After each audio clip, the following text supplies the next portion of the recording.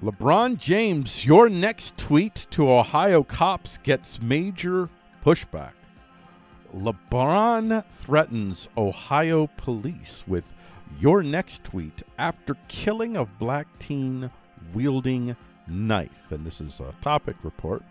Now, I'm a little little bit encouraged by this. I, I monitor the sites from the right and from the left, and I have to say, on the left, that they're either crickets or there are a couple of people are like, yo, man, everybody slow your roll on this one. So I think even the left is somewhat checking itself, but LeBron, LeBron didn't get the memo. And when I say the left, I want to I want to always add this. Whenever I say the left, I believe that both of the major political factions are are are authoritarian right. Not that all right is authoritarian, but authoritarian right.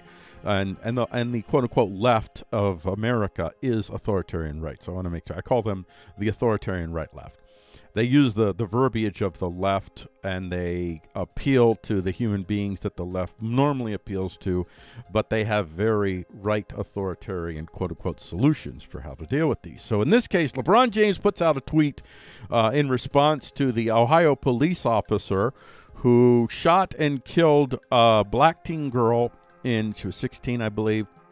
I think either 15 or 16. I see conflicting reports. And he put a tweet out there that said, about the cop, you're next. Yeah, that's uh that is that is inciting people to violence and hate. Now he has since removed his tweet, but well, let's just go and look at what what the media has to say. And they're mostly getting people from the right on this because the left was largely crickety on this one. LeBron James tweets pictures of officer involved in Ma'Khia Bryant shooting, says, You're next. This is from Daily Caller.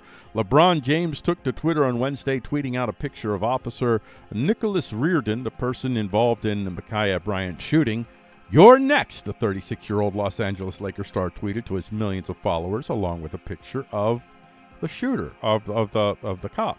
So he put a bullseye on the cop's head uh, for basically saving. Now, if you look at the video, you'll notice that the girl is attacking, I believe, that who she's attacking is another black woman, black a young black woman.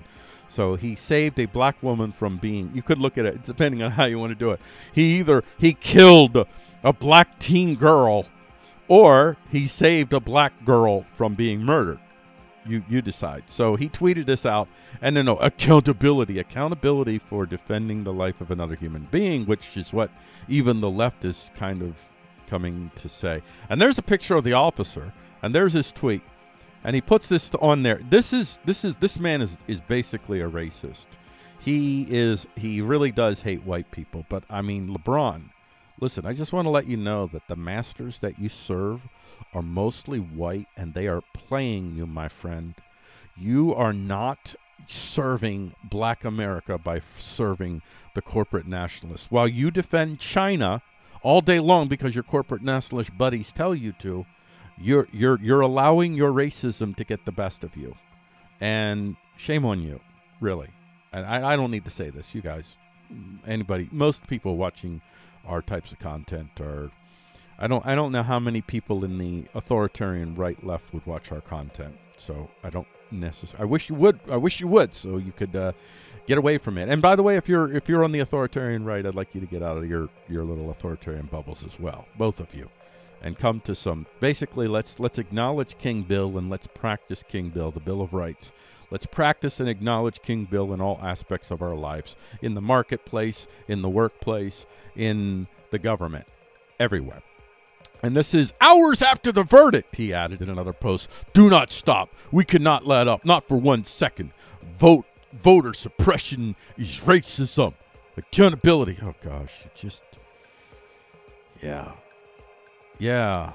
If you thought racism took a day off yesterday, out in Arizona, they're telling us to sit down and shut up when we defend our voting rights. I don't know what that's about. Uh, and I don't know, maybe you know, racism is real in America, so I don't want to just dismiss when people say racist. I don't dismiss the racism charges because it is very real in America.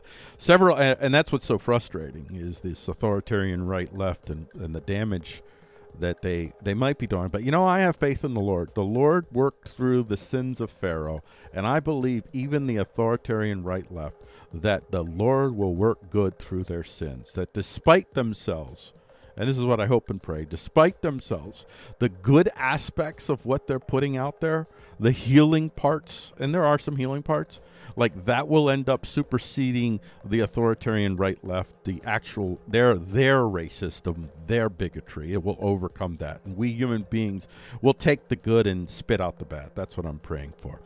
And several hours later, the Lakers star explained he deleted the original post because it was being used to create more hate. No, you were using it to create hate. You put a bullseye on an officer's head without knowing any facts, and you did it because you're racist, because you assumed white cop, black girl must be racist. Didn't even take time, and and then you kind of double double down. I'm so damn tired of seeing black people killed by police. I took the tweet down because it's being used to create more hate. This isn't about one officer; it's about the entire system, and they always use our words to create more racism. I am so desperate for more accountability," says from his billionaire mansion. Uh, why don't you give away some of that billionaire money that you have there, son? You're preaching a righteous preach, and I tell you, even we Christians like there's plenty of us Christians. We look at the, the Kenneth Copelands of the world, these people who preach the gospel and have million dollar homes, and we look at them and we judge them. You're preaching your gospel with your million dollar home. Don't don't even pretend that you you rec- you you represent the poor and the downtrodden. You're part of the problem, LeBron. You serve white billionaire masters. That's who you are. And then some of the other headlines here. Your next LeBron James threatens officer who allegedly shot knife wielding teen from the blaze. Jason Whitlock. LeBron James is using racial division to reshape America like communist China.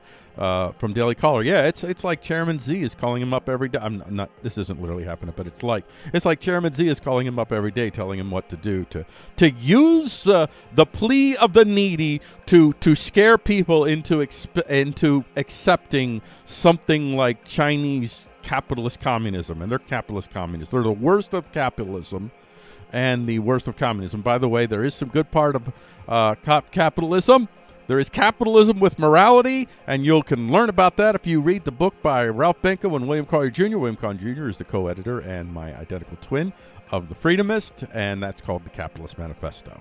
That's how I'll end this uh, report.